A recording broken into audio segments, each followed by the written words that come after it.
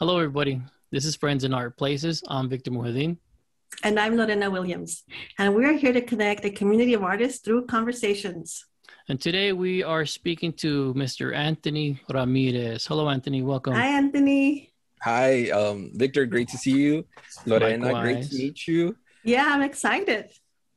Oh, yeah, so am I. This is great. I've been looking forward to it since Victor and I have been talking about it, and uh, it's something we've been planning. And uh, I'm super excited about this. I'm I'm super excited to be a guest for for once because I'm I'm usually a host, so that's it's it's a different environment for me. Yeah, right. You're on the hot seat now. Yeah, yeah. yeah. Hey, hey, right now is a good time to plug in your podcast, man. What's up with the Yeah. podcast? Tell us about All it. right. Um. So yeah, I'm I'm a host of uh, a podcast called Academics and Amigos. Um, I'm the creator, the host, the graphic artist, the everything for it. Yeah. Um, I'm the producer, all of the above. Um, Makeup so- artist. uh, uh, everything, everything. um, whatever title you want to add to to the creator of it, that's what I am. Um, so you know, it's it's a podcast that's dedicated to academics and non-academics alike. Um, it's where people get to tell their stories and talk about how they got to where they got to, whether it's through their education or through um, different going through different obstacles in life. Um, but they all- all have one thing in common in the sense of that they're all doing something what I believe is like really really cool. And um, they're all the stories in in their own way are very inspiring too and um, I have a to- I have a real great time talking about it and um and talking to my guests uh, in in each of the episodes and um yeah yeah each they're about an hour long each episode but they're really great conversations That's really cool. Like when you edit them, they're like an hour long, or like you kind of cut it to like. like it's rare that's that it. I cut any of the content it's super rare um Mhm. I usually the only thing I usually like cut is in the beginning where I'm like, okay, we're recording. But other than that, I hardly ever like cut or edit things because um, I want the conversation to be as transparent and natural as possible. Yeah. Like if you and I were just talking in person, like I want it to seem like a conversation like that, even Very though it is, point. yeah, exactly, very Mhm. organic and i want it to seem very genuine too so usually prior to the to the episodes i usually talk to my guests for like 10 15 minutes and uh we we have like just con- conversations kind of like what we did right now too just like catch up with each other and Yeah. everything and um secrets. That's the secrets of podcasting people. Um but but I, I do that to make my my guests feel comfortable too. And uh, like the way you all just did right now too. So that was really cool. That's when i start recording after that. Because like i said i want it to be comfortable. I want it to be genuine. I want it to be like if i'm right there talking to you like across from one another. Yeah. Really cool. yeah, for sure, and especially during this whole pandemic thing, uh, we we can't have guests like show up with us anymore, dude. So this whole pandemic opened up this window, man, this door to like, hey, let's do it, man, and we could talk to people from across the across the globe, across the nation, and it makes it more accessible, man. That, that's Yeah. fun. And I'm glad you're doing that stuff. So, Anthony, you mentioned that you and I just met. So, can you tell me a little bit about your background, where you're from, and what you're doing? Oh, of course, of course, I'd love to. Um, so my full name is Anthony Robert Ramirez. I'm from. I was born and raised in El Paso, in El Paso, Texas, um, Texas. Um, I'm a border city kid for sure. Nine one five till I die. Um, and uh, Go. Chuco Town, Chuco Town warrior. um, and so uh, yeah, so I'm I'm uh, from there. I um I'm Jefferson High School graduate. I've, Oh and- man, I know, I know. Uh, are, are, Bowie or what school did you go to? no, my dad is a Bowie graduate. Oh, my grandfather went to Bowie. My grandpa. Everybody, right? Yeah, my mom my- went to Bowie. my- All the tios and the Yeah. tias and the So for me, like the Bowie and Ri- Bowie and Jeff rivalry thing was like big. Um, but but like when because I was in marching band, but um, but like once I got out of that, I was like, you know what? I have a lot of love for Bowie because of my grandparents, you know. Mhm. And so uh, had, orgullosos. yeah, exactly. And then the Golden Bears, y todo, you know. There's there's all that history there, and so there's a lot of love that I have for Bowie too, even though I am a Jefferson Silver Fox.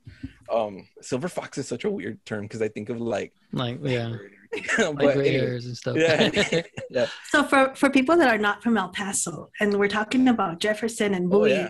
it's two of the oldest schools in our community, hmm And which is why we're saying the grandpas and the fathers and the went Yeah. there because there were there was the some of the first schools in in our community, and not just that, but they're located in an area that is by the border. Mhm. So huge uh, Hispanic community, Mexican American Yes. community. So Yeah. lots of culture in those schools, lots of stories. Oh, from yeah, yeah, a lot of history, a lot of culture Yeah. for sure.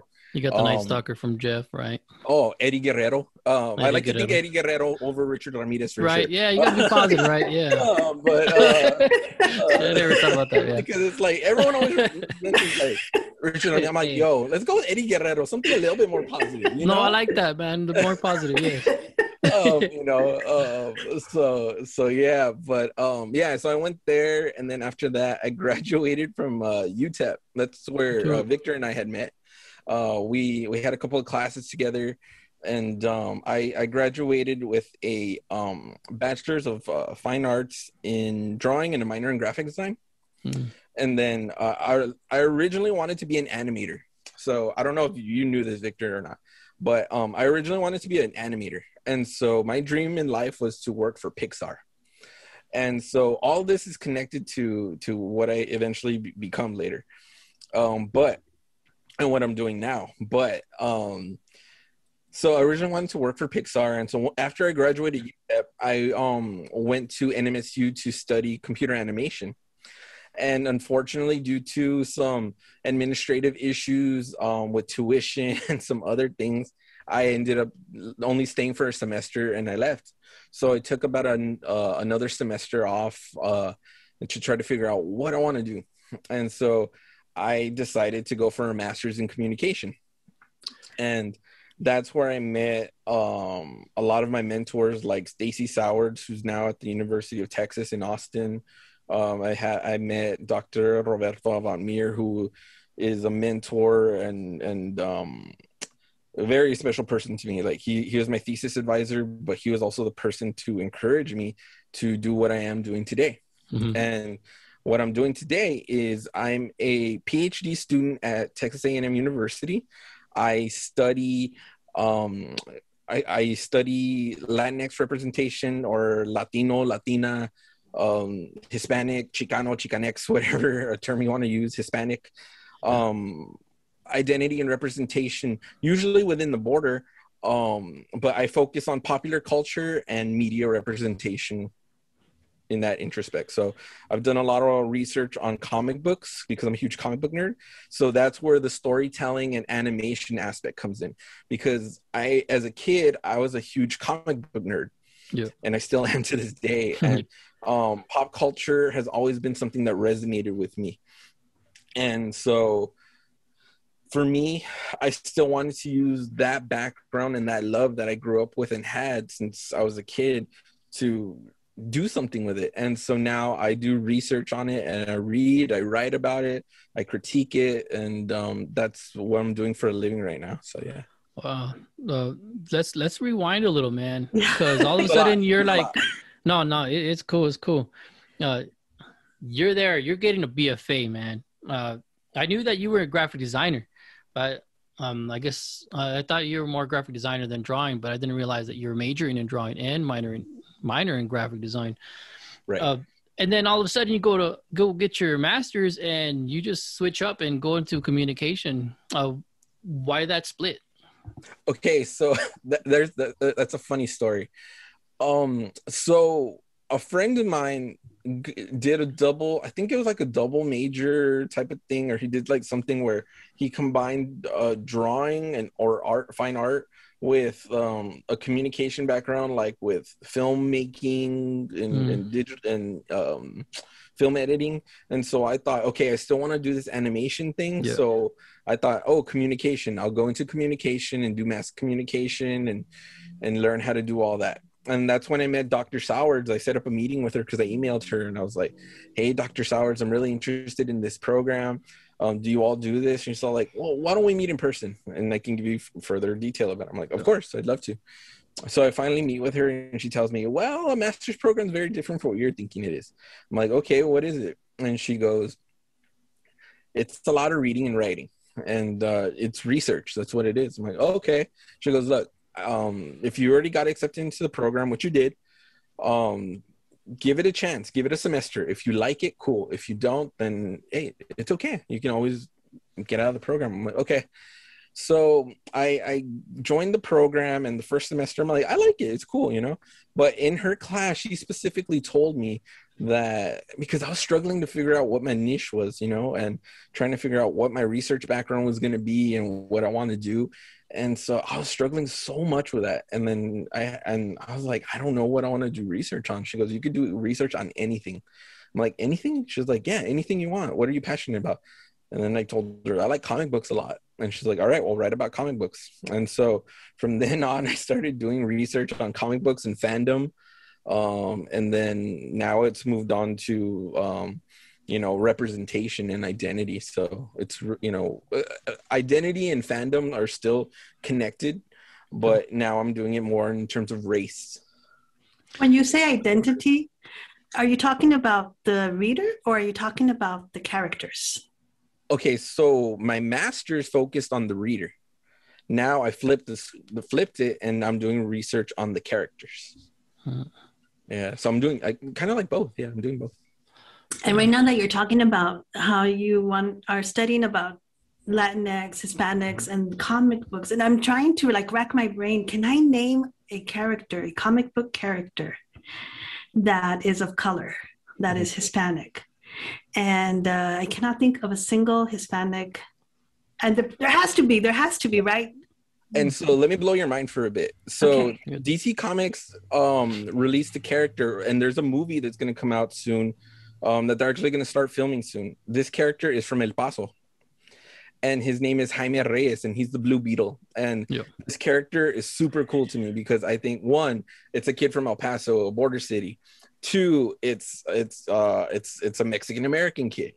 You know, three, he fights alongside the Justice League with Batman, Superman, Wonder Woman. I'm like, how cool is that? You know, to see somebody like like like people like us that are Latinos and and Latinas and Latinx and and from our community fighting alongside some of the greatest superheroes in comic books. You know, and just that to me is mind blowing. Um, and so you know, when I found that out, I was just like, wow, that's super cool. Um, and, when was uh, his character in, yeah, uh, it's been a while, huh? I've never heard of this. No. No, I'm, I'm shocked. Let's see. I know his first appearance was in. Uh, do do do. I have the comic book with me. I, I am disappointed in myself. I have right it now. some. I have it somewhere in my apartment. Um, but his appearance came out in like um, I think it was like like in like some crisis that they have because DC has like all you know how like the Avengers have like Endgame and all other stuff. So it was like um it was one of the crisis series. I think it was like 52 or something like that. Jeez. Um, yeah. Yeah, yeah, yeah. Busted out. I'm disappointed in myself. and, and you know, because I, oh man. comic books could... comic books are a different world, man. Yeah. They, they, they can be. They can be. They really are. You would think we would we and we I'm talking about people like myself that don't know about this character.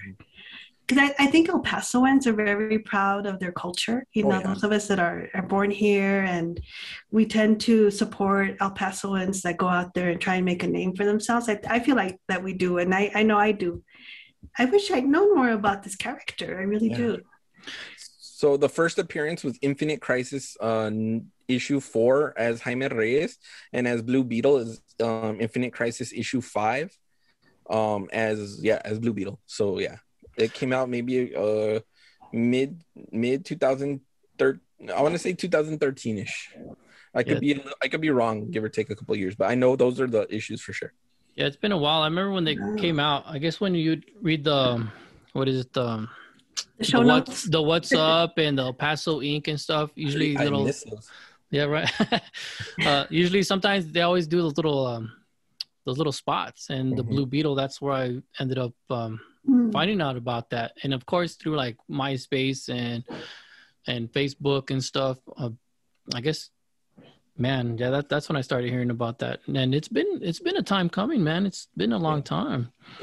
And, and there's plenty of others too, like um like if, if you go into the independent scene of comic books that's where you'll really dive deep into um, creator owned comics that are done by latinos and latinas and the people of the latinx community that are doing like representative work like mm-hmm. on the subject matter of being latino or focusing on latin latinx related topic yeah. you know so like in the mainstream it's it's still kind of lacking in the mainstream you feel yeah yeah it's um they're, they're trying in their own way but unfortunately due to like poor sales and stuff these comics get cut short. So if for example like another uh character of color is like cyborg or yeah. um you know who's half machine half man um but his comic got cut short because of low sales. But a character who's been like super popular who's afro latino is miles morales um who's from the into the spider-man uh movie yeah. So he's Afro Latino, so he's you know I think he's Puerto Rican, uh, half you know half Puerto Rican, and so um, that's pretty cool. Like I think that's a form of representation that that is is needed and yeah. and you know he, that, he's one of the few popular ones for sure a lot of kids love that man and i saw a lot of uh, good feedback you know kids that had kids that looked like him you know like they saw somebody yeah. on screen that looked like them and they loved it, man. And yeah. kind of going goes back to uh, when I saw Rogue One. Yeah. When I saw the diversity in Rogue One, uh, did you get to check that one out, Lorena? Rogue One. Are we talking about Star Wars? Not. No, we're going to Star Wars. Oh, you're talking Star Wars. Okay, yeah, no, I was no going to say okay. Uh, Rogue is isn't that her name? Rogue from X Men. Mm, yeah, yeah, that is a character. Yeah, okay. Well, I see, this... like, look, I represent Rogue right there. You see. yeah. Mine's natural too. hey, people pay to get that, man. Yeah, look, it's there. I don't have to work. I don't have to pay for it. yeah, like seeing Rogue One when I went to go check it out with my son, I felt like I got these chills and like the whole the diversity of mm-hmm. the characters in there is what was lacking in the original Star Wars, man. Oh. And you had um what is it? Um yeah, you had a couple, but that was about it, man. But you had people with accents, man, a Mexican accent, dude, and it was fun. Uh, that that that was dope. You know, you got these British accents and stuff already, but you know, having a Mexican accent come out, that was pretty neat. Yeah. I wanted to ask you, uh, uh, when you were younger, you know, did you notice the lack of uh, representation, like in cartoons, comics, like TV shows and movies, or did you end up seeing that later? Like, what, did you ever question that when you were like little? Um, I I kind of did. It wasn't like one of those things I was like a full critic on, but I was just like, there's times where it'd be like, man, why aren't there characters that look like me that like are a little like more darker skin, like um like Latino, you know, or why don't they speak Spanglish or do things mm-hmm. like that, you know? And so those are some things I did think about, but it wasn't until I was really older that I really started to pay attention more to it. And that's when i really really really started to dive deeper into that and started to question like why is why isn't there more representation you know? And um and those are some things that i've thought about too. And uh, you know i really like think about a lot more now than i do yeah. uh, ever before.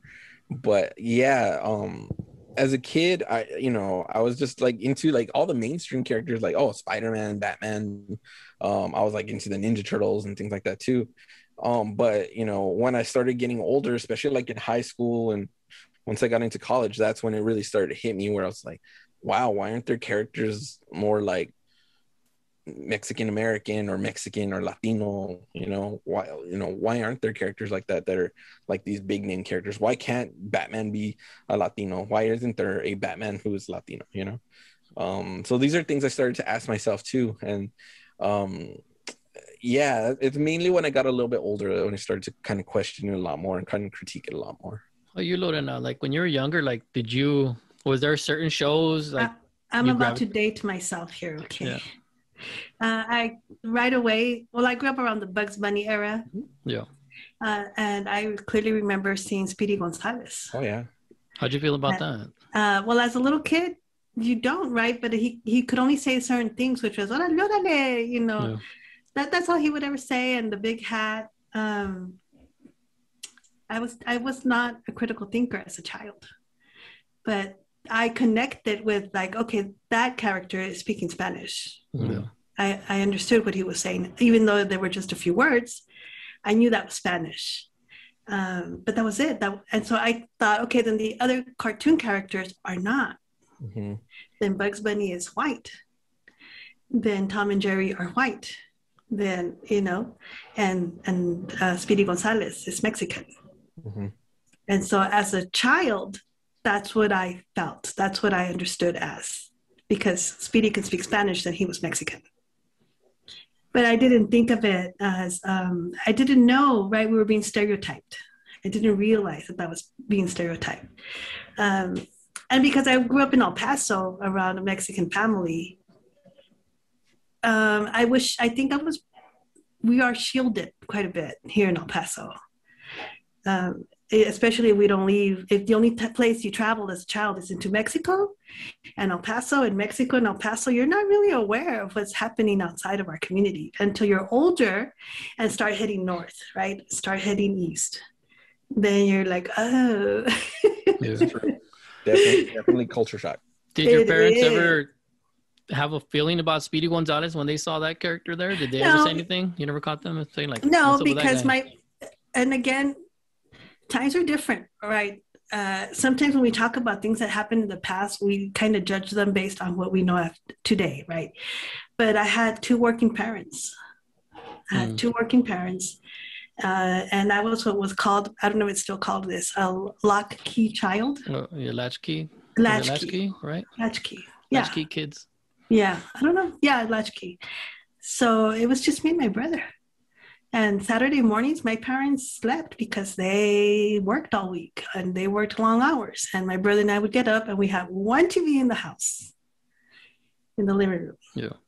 And we would serve our cereal and sit in front of the TV and watch cartoons all morning until my dad got up and took control of the TV.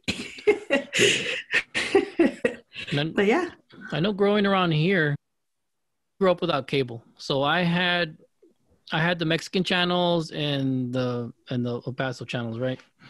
And like it was almost like half and half. It felt like there was more Spanish channels, man, uh, coming in from Juarez and stuff.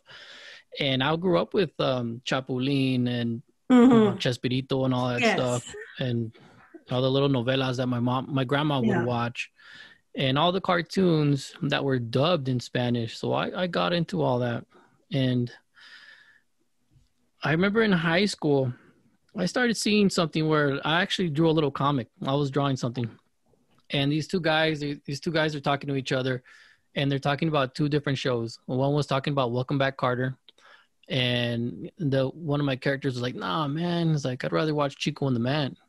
Oh Oh, yeah. yeah. And the Yeah. reason that that character, the one that I made, and he wanted to watch Chico and the Man is because he could rep- he could um, relate more to Chico, and then he can with uh, like uh, like Barbara, what is his name, Barbarelli or whatever, or John Travolta yeah, and all that stuff, right? Yeah. So those more, those more uh, relate. They're they're relatable more to him and stuff.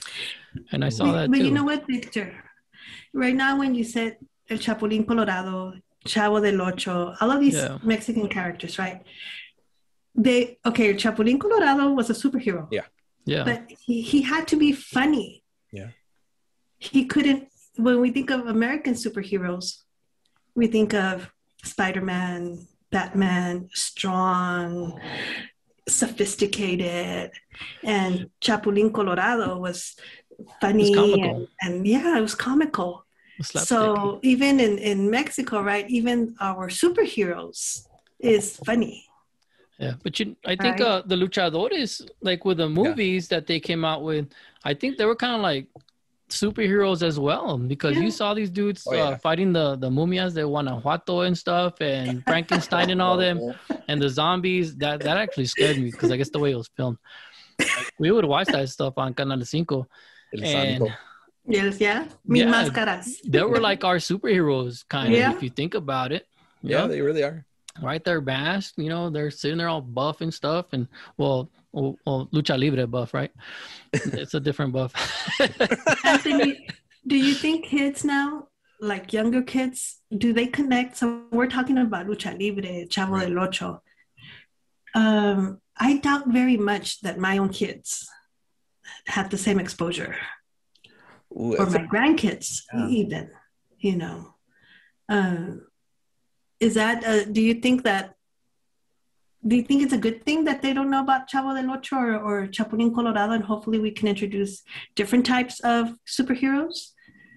Or that's a, those are really good points, and que- that's a really good question too. I think one, um, not just superheroes, but why not introduce them to those like characters in general? Why not introduce them to the culture? Why not introduce them to like our heritage and show how how special it is? You know, yep. whether it is through lucha libre, whether through telenovelas or through food, even. You know, food has so much history, so mm-hmm. much culture, and and there's so much that happens within a dining table, even within the cooking whether it's yeah. a cookout like like cooking like doing some um carne asada or something like that or uh, a breakfast with chilaquiles or menudo or barbacoa or enchiladas, tacos, whatever it is, you know, there's so much history that can be found within um, food too. And not just that too, but just in different aspects. I think that there's so many different things that we can really look at and be like, wow, there's so much history within our race, within our um, ethnic background, within our community,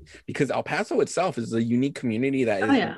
like any other because I have friends who are like from Los Angeles and and um, from other um, parts of uh, the United States and from the world too, because I have friends who are international to here A and M, and you know they're they're Latino or Mexican American, and or or Latinx, and they'll they'll tell me about their different like backgrounds and stuff, and and I'm just like, man, El Paso is unique. You know, it's a one of a kind city, and um yeah you know it, it has so much history and so much you it has like a certain uniqueness uh, like yes, it does you know and it's special like like um i i, I just I, I love El Paso. Like I'm just a person who will like ride and die El Paso till I die. Like um because it's just for me it, it's so special and it has a lot of um special things that uh, it just I don't know I just love El Paso and just it's, it's amazing it's it's unique Oh, um, sure. But referring to like back, referring back to the media, I think there's different ways that we can look at that too. You know, um, why not introduce our kids to like lucha libre characters and show them like they might think, oh, this movie's cheesy, kind of like the old Godzilla movies or something like yeah. that.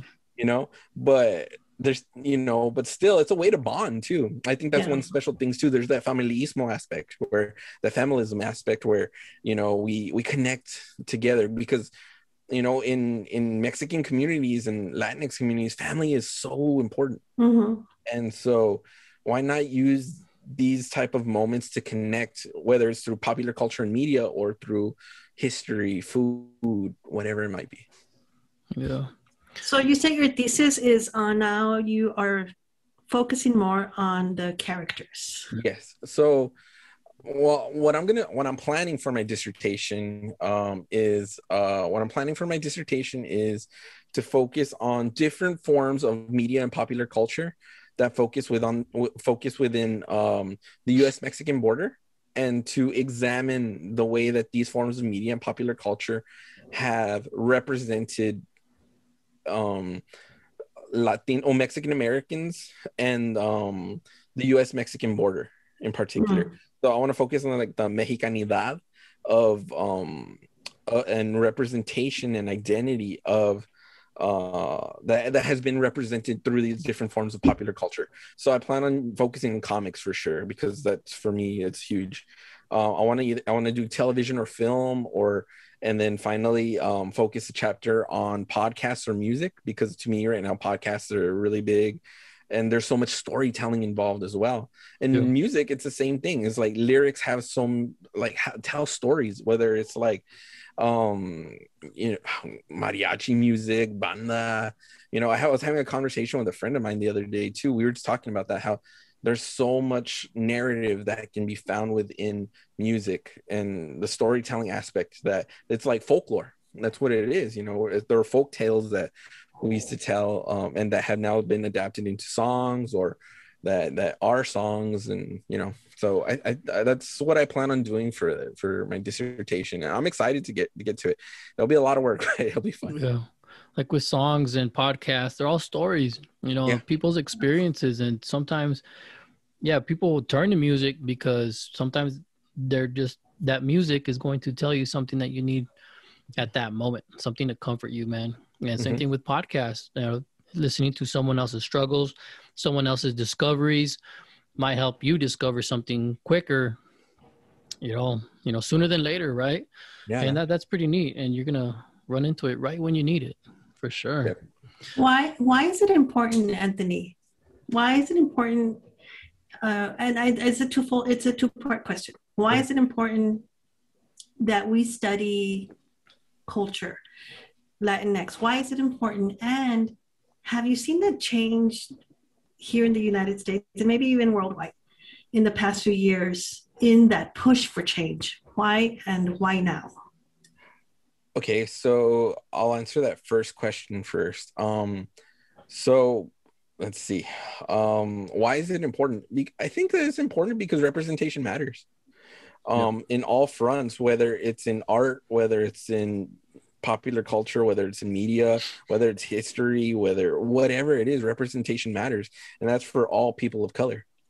Yes. Uh, not just Latinos and the Latinx community, but all people of color. Because as we can see with like movements like the Black Lives Matter marches and other things like that, you know, representation and needs needs. Oh, granted, Black Lives Matter is a totally different um, um, movement in, in, in its own right. But i also think that that it has brought out a sense of representation that that uh, um that needs to be showcased as well you know? Um but i also think that it has also pushed for a sense of diversity and inclusion and um, um equity and equality in in those realms as well in terms of race. And so i guess I'm answering both in the one question. Yeah, yeah. That's cool. Uh, cool. Um, so you know, I think with all these different movements that have been happening, and and the way you know, in a weird way, politics has inter- been interjected into that as well. But you know, we're starting to see how how representation truly does matter. You know, on all fronts of life whether it's through a movement, whether it's through media, whether it's through popular culture, through history, through our food, and and um, like uh, like a film like Coco that showed us how important representation yeah. really is. And um, you can even compare it to another like film that's very similar, like The Book of Life, and that's another one that that also discusses very similar themes. And those films were powerful because they really highlighted culture, race, and representation in a different aspect that wasn't just stereotypical. Right. You know, and pride in culture. Exactly. Exactly. Pride in culture. With those two movies, you had uh, Book of Life and you had Coco. Uh, mm-hmm. The people that did Coco, they try to get an all well like Mexican American cast. Everything was like Mexican American for the most part, and Book of Life was kind of not that right? Uh, did you did you feel a difference with that too? So here's the thing with that because I even wrote a paper on those two. Um, yeah, you uh, talked to me about on, that. On, on two on those two. Uh, Am I just talking crap or what? No, no, no. like, no, no, no, no, no, no. we can bash them if you want, but I love both. Movies. I love both. Movies. No, no, no. Like all respect to those movies. All respect, all love. like I lost an opportunity. I'm just kidding. Um, so so what ended up happening with those movies for example with the book of life what's cool about that is that the director and um uh, what's his name uh off of the t- I, I do I not know, know, I know he goes by like Mexa Mexapolis or something like that. Okay. He's a fame he he did like El Tigre and he's done a lot of other um really oh, right cool on. Mexican American centered um, work. Cool. But um, I think it's Jorge Gutierrez. I think that's his uh-huh. name. And then uh, he directed the film. He wrote it and, alongside his wife. Um, and um, who, who helped produce that movie? Guillermo del Toro. Oh, Nice. So Right. so that has a lot to do with why there's a lot of these little motifs and a lot of subtleties in there that really resonate with people who understand it, you know. Mhm. The Mexicanidad, the Latinidad, the Yeah. representation, the identity, the culture. They understand that because of that. And that's the same thing with Coco. Yeah. And so that's the one thing I liked about um the Book of Life that in the background behind the camera there was the the people there, you know, and it also had um Diego Luna too and Zoe Saldana. Yeah, I might have had Channing Tatum as well. Yeah, I guess I guess that Channing Tatum thing, like Tatum thing, stuck. threw me It's off. Like, oh, this guy, Stuck, all right, yeah. whatever. yeah and uh and, and yeah it, it definitely stuck but i think for the most part most of the cast is um of uh of uh latinx background in some capacity Mm-hmm. minus channing tatum Well, we, I guess we don't know, right? Uh, yeah yeah uh, not No. that i know of i don't think he is but i don't know he, we might we'll be Google it. surprised um in coco's aspect so i don't know if you knew about this or not but prior to the filming of the of coco um disney tried to trademark Yes. Dia de Yes, los Yes. Muertos. about that. yes. Uh, A- and like the, the the Latinx community got outraged. we with were not going to have that. Blew up. No, I like really. It's like the, the, Disney buys everything. Why do they want to buy our Right. culture and our history? So it's like that. That in itself is frustrating. And so they tried to do that. And like one of the guys that critiqued it hardcore was this guy by the name of Lalo Alcaraz, who's a famous Yeah. cartoonist. And um, he he's from Los Angeles, I believe. California for sure. Um, but he was one of the biggest critics of this. So Disney backed off from this and they're like, nah, we don't want to do this. We don't want to do this. We have chanclas people. Yeah, yeah, yeah. We have chanclas ready to throw 'em. uh, you're not invited to the carne asada, Disney. Nuh-uh. and so um what did they end up doing they ended up hiring lalo alcaraz to be a special consultant for Oh. coco That's and good. that's Smart how move. that was a very smart move right why make Yeah. an enemy when you know it's Yeah. like disney disney can has the money to do it why not and so one it was smart on disney to do that and two he's a really great consultant not only did he do uh, uh, i was gonna say caca but coco uh, Coco, but he did uh, Casagrandes, uh, which is on Nickelodeon right now. He's a uh, um, so I was trying to combine both those and it ended up being that.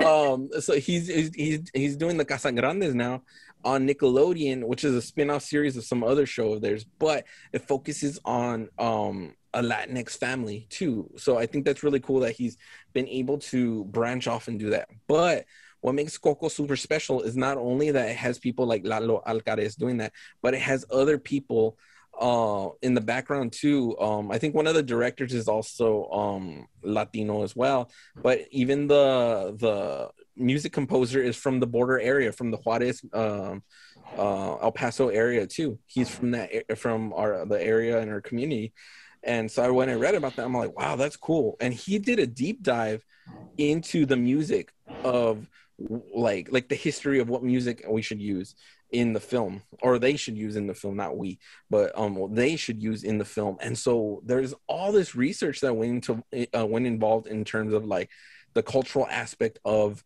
how do we represent this in a mm, genuine and authentic type of way even though it's hard to really create genuine and authentic representation in anything really because what is genuine what is authentic um but I can do a whole spiel on this, so you can stop me whenever.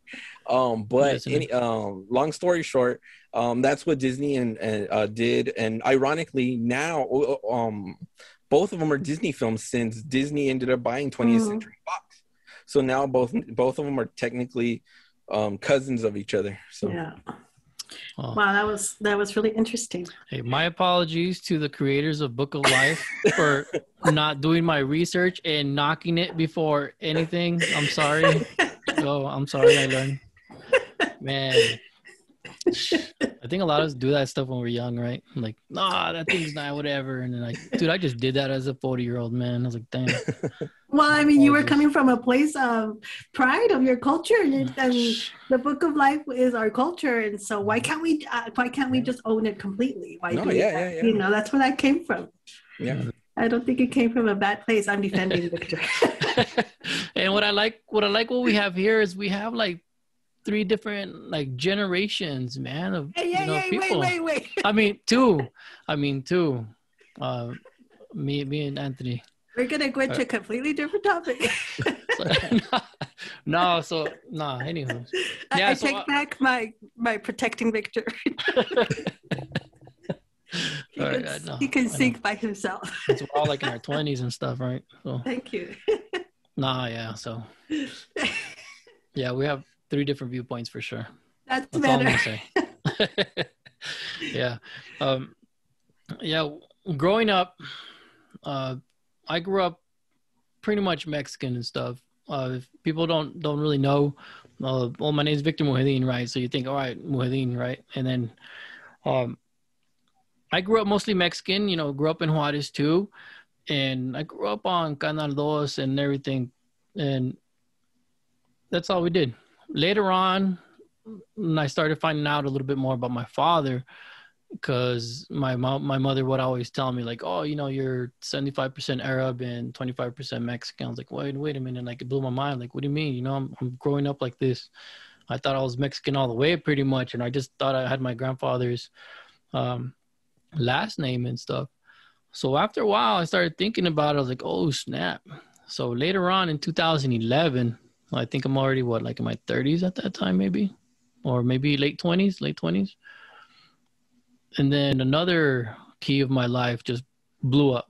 Uh, found out more about my father being uh, Middle Eastern and stuff, you know, from the Middle East.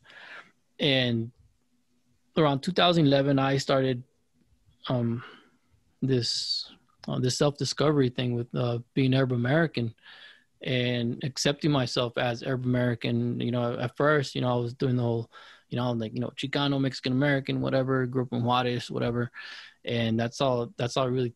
That's who I thought I really was, and it, it was it was a it was uh it was mind blowing.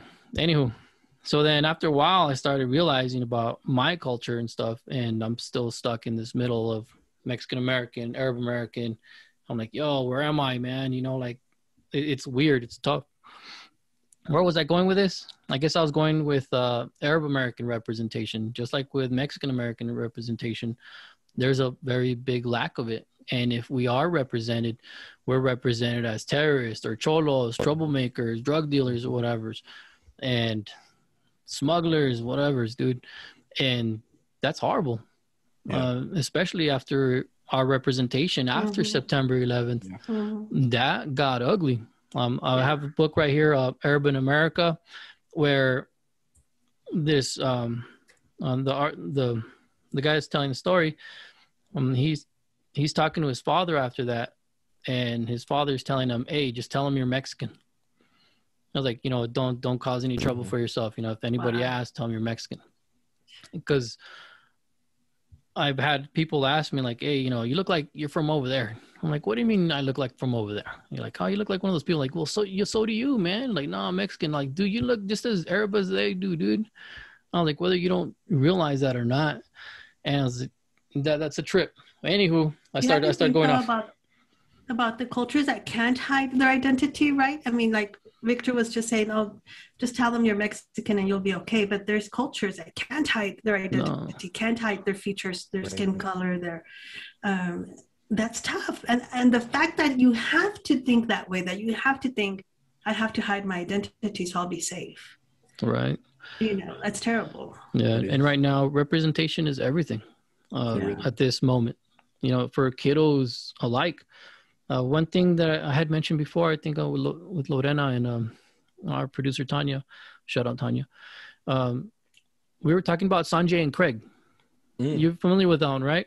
When I saw Sanjay and Craig, I was like, "Yo, like this kid's brown. This guy's Indian, and he doesn't. He's not speaking with a Hindi accent." And like, Mhm. dude, that's so cool.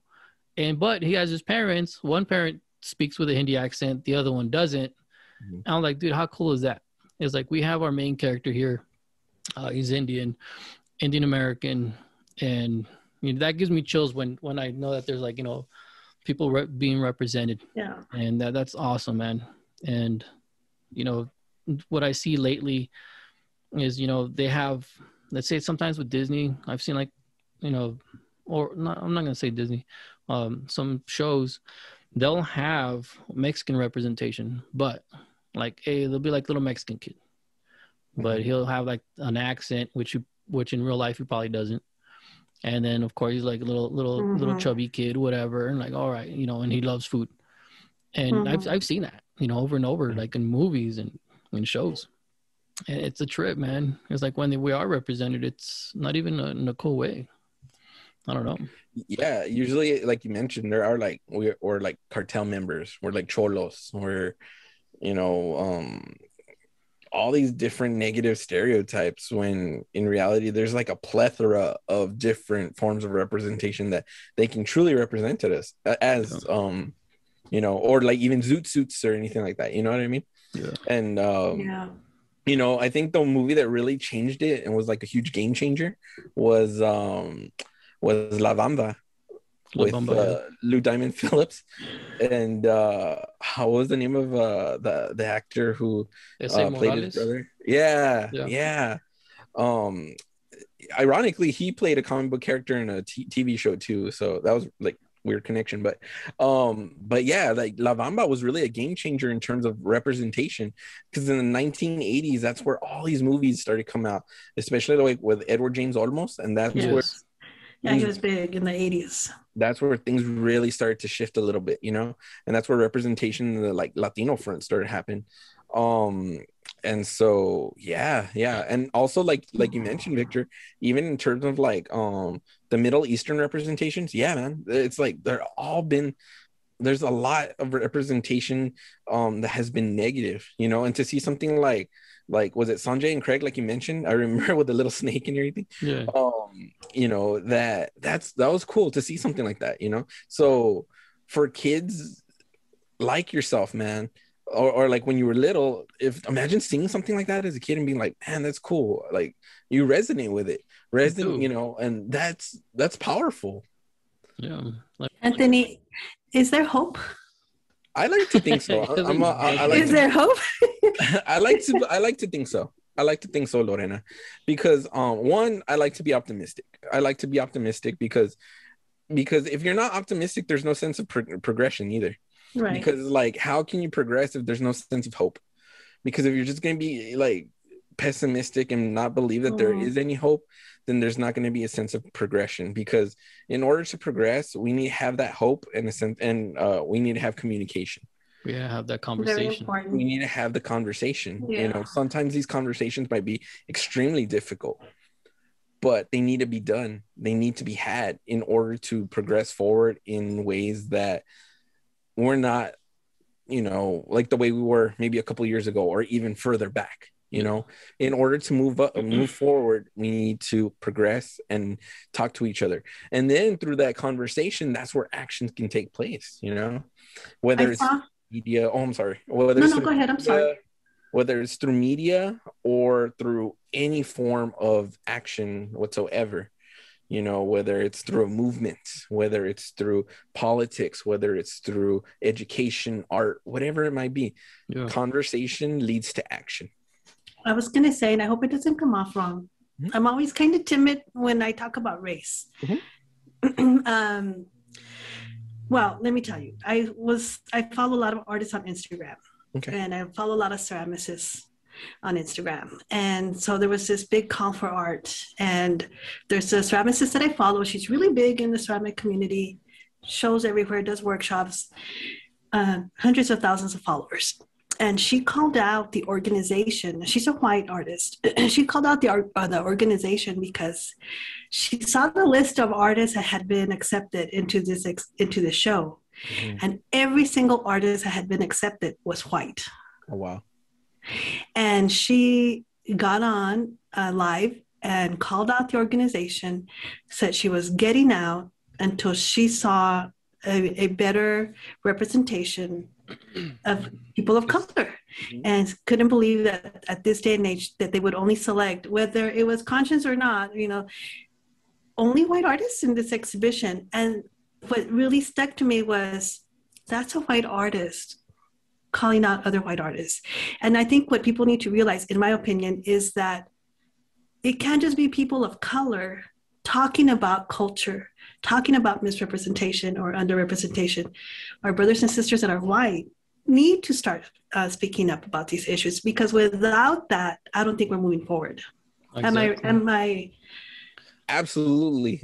Um, you know, because uh, there, there's a book that I've been listening to and reading called Caste um, by um, Isabel Wilk- Wilkerson. I actually have it right here too, and it discusses how there's a hierarchy in terms of race, and so obviously white is the top of it, you know, um, and then from there there's um, I think they mentioned how it was Asians and Latinos, and then um, I forgot what was next, but on the bottom, unfortunately, it was uh, blacks, black people, and so um, it, it's sad that it's like that, you know. But the reason I bring that up is because in that hierarchy, you know, since the you know white people are unfortunately on top in that sense, um, I think that allyship is super important. Mm-hmm. You know, um, if you believe in representation, um, and and there's allies who are speaking for it in any front, whether it's through race, whether it's through sexual orientation, whether it's through whatever it is, you know what I mean? Um, I think that allyship is super important, and to have people, you know, be be helping one another, you know, I think that's what it's about. Community is yeah. is is important. You see call it out. Um, yeah it definitely uh, affects people in all sense of life you know this idea that there's equality and then here's this exhibition this big show and no people of color you know so it whether we understand or think it's an important issue you know representation it does affect our everyday life in the arts and in jobs and in home ownership and in you know we can go yes. on and on mm-hmm. for sure i know uh, I don't know if you've seen that one interview where David Bowie calls out MTV about mm-hmm. representation. Yeah. And I was like, damn, dude. Yeah. See, you see it, call it out, man. Like, oh damn. And those are conversations we need to have.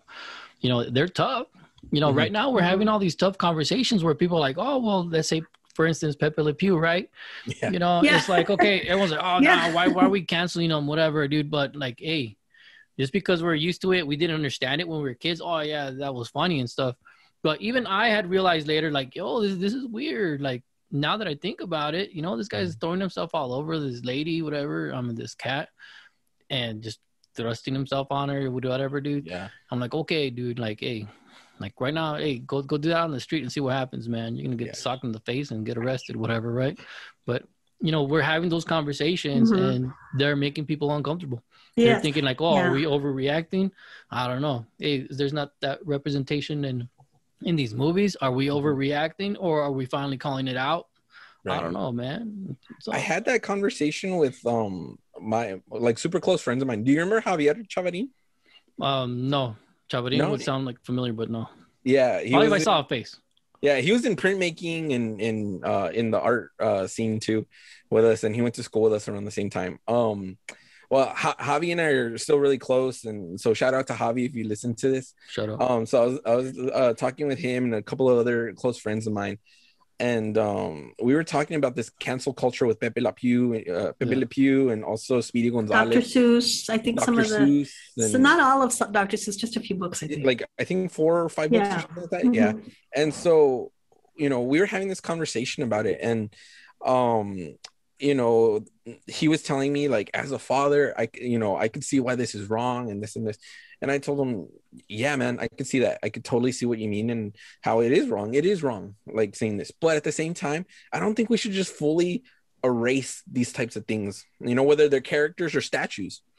Um you know i, I don't think that we should like like delete it completely because that doesn't really like take away the problem Right. You know, what we should do instead of um, eradicating is educating. Educating. You know, we should educate. We should educate and sh- like, why not put, you know, we shouldn't glorify them. We shouldn't glorify these, but we should show them maybe in a museum, not in a glorification type of way, but as an educational type of way and state, what did this person do? Did they do something good? Did they do something bad? you know in this particular case you know we're talking about people who did bad since we're quote unquote canceling them right or canceling these characters. Yeah. But we should, you know, use it as a way to be like, look, what this character do is doing right now this isn't good. This isn't the way you should treat women. This isn't the way that you should do things Yeah. you know? You should treat people with respect. You should you know consent is is huge you know? Or um you know whatever the whatever the situation might be you know? Because um i think education would be so much more powerful than just being like let's cancel it let's cancel it let's Right. take it away you know because i think that there's lessons that ha- are are there that need to be spoken for and and that way we can learn and progress forward again you know I think there those there are conversations about why you know certain things are wrong, Mhm. and I think that some people just refuse to even look at that that conversation. But you know, we're going to this canceling of things that are wrong. You go into a museum, Mhm. and we'd have to bring down a whole lot of work because uh, you know women in general were either uh, sexualized in paintings uh, van gogh or in the area of the impressionists who did they use as models right? So uh, oh my god what was his name? The the oh lord i can't believe it escaped me. What do you do? the 13 year old um, girls that were from what is it? Was it Gauguin or what? no oh man i'm so sorry. We're gonna have to edit that out because i can't remember. The artist that went over to um, i think Polyn- the polynesian islands and married a 13 year old and then she's all over his paintings. I'm not going to remember his name. The, the thing is though that they're everywhere. Yeah it's everywhere. everywhere. We would have to go into the museums and start bringing down paintings left and right But I think in the same aspect too, it's like we like in our history class. I remember that we would always see all these weird paintings, and you know, a lot of it dealt with nudity and, and Mhm. female body and over sexualization and stuff. But what are we using it for? Educational purposes. We're not. right And we and then I remember in classes too, they'd be describing like, yeah, it, it's over sexualized and stuff like that too. You know, it's good to state that because it's like Right. it's important to state like this is over sexualized this is you know whatever the situation might be you know but education is so powerful important you know Yeah. and um both of you are educators correct Yes. yes and i'm in you know i i teach in the um higher education myself and i you know i don't know if it's because i come from a family of educators as well and because of what i do now but i feel like you know it's such a powerful tool that we need to use it in order to create these discussions in order to you know show like history you know because that's what it is. This is we're living in history right now what through this cancel culture through these statues through all these different things that are happening in our lives black lives matter et cetera et cetera we're living through history. And so um one day they're going to be in like they always say in the history books and being used for educational purposes. And i hope they are used for educational purposes because our kids and our future generations need to know this is important of what what we did right and what we did wrong in order to show let's not make the same mistake again. Let's show how we can be better. Yeah definitely. I wow. Yeah, I think the artist you're talking about as well, um, is it this guy right here, Pablo Gal- Gauguin? I think it is, no? yes. Right? yes yes. Thank you. All right, we'll, we'll edit that. Thank Yeah, you. I I, know what you I was like, ah, this brain. I'm not want to talk about age, but ah, Art history, it paid off. Years they're later. all in here. They're in here. Oh, they're all in there, yeah, for sure. come out. My brain has like on the hamster wheel sometimes. Let me look for it. I want to I want to touch on something, and I'm glad that, and I, I totally noticed it earlier when you were you, when you were talking about it. When you, it's like you didn't know what term to use. Mhm. Terms was it uh, Latino, Latinx, Chicano, Mexican American? Where are we when it comes to identifying ourselves? You know, what, what, what I'm pretty sure you've gone through that conversation already, yeah, and reading Yeah, up on I- that. it depends on the community it depends on the region it depends on so many different factors there's so many logistics involved in it and so um you know it depends on who you talk to as well because there's people who um just they're like no i don't like using the x i don't like using or latinos you know or chicanos where the you know and there's other people who are trying to be more accepting and more um, open about things and so they use the x for our friends who are non-binary and Yeah. so uh, to be more inclusive. And so it, it all depends on who you talk to and who. Uh, and I've even seen another term used, uh, Latine. It's with an Mhm. E instead of an X. Mhm. So um again that is is for our, our non-binary friends. Um and so there there's all these different types of uh, terms and it all depends on who you're who you're talking to. That I, I mean and and the region and everything like that. Because in El Paso as far as I remember, like I didn't really use Chicano too much um myself. I would say I'm Mexican, Mexican American, um, Mexican American especially, uh, or Latino. Yeah. Um, um, I I don't think I don't remember using Hispanic too much either. Oh, Hispanic. I forgot about that one. Yeah, yeah, and that's that's a political term. So that that's that that was done because of the census. Um, and so um, yeah, it, it all depends on like like regions too, because I know like in California, Chicano's huge. Um, uh, because I've I've heard that from people and and some some friends of mine too that they said like in California, Chicano is huge.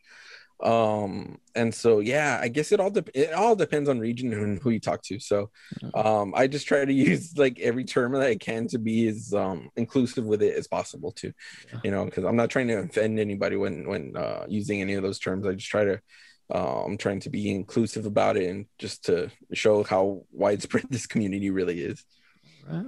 Yeah. And you, Lorena, what do you, are you Mm, I, identifying think- yourself with something? you know, growing up, because I grew up in El Paso and everybody that I knew was like me, I don't think I ever needed to identify myself because I was around surrounded by people like me. And Yeah. when I went to stay in my grandma's in Mexico, then I, you know, it wasn't until like I was older that I felt the need that I had to identify myself. But growing up, I didn't feel that need to find my that I was a certain identity. I didn't I didn't think I was any different than anybody else until I got older. Until you got older. yeah. Right.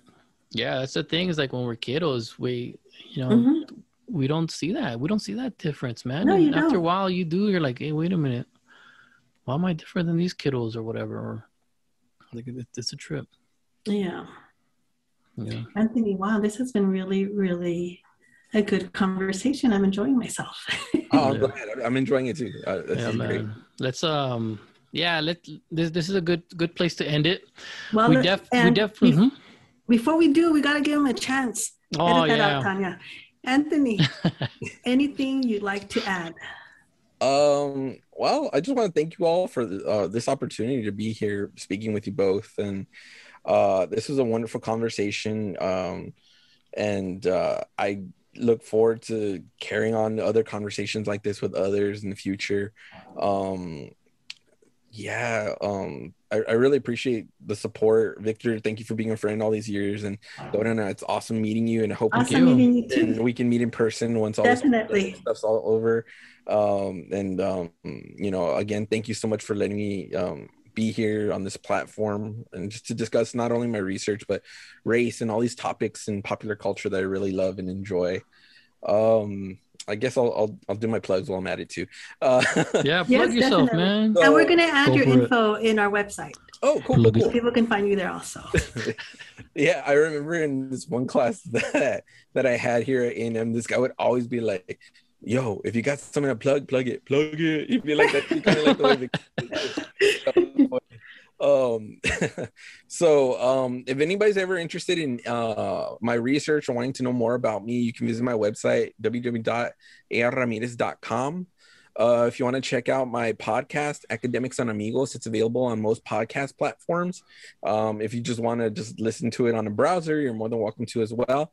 Www.arramirez.com slash academics and amigos uh i'm on most uh platforms as well uh in like social media wise just look me up anthony r ramirez um instagram i'm ar i don't know if there's an underscore there or not but i know it's ar ramirez i think it's ar underscore ramirez and then on twitter i'm latinx acapop um yeah so that, that's it if any if anybody oh no i don't have a twitch Yeah, yet Twitch.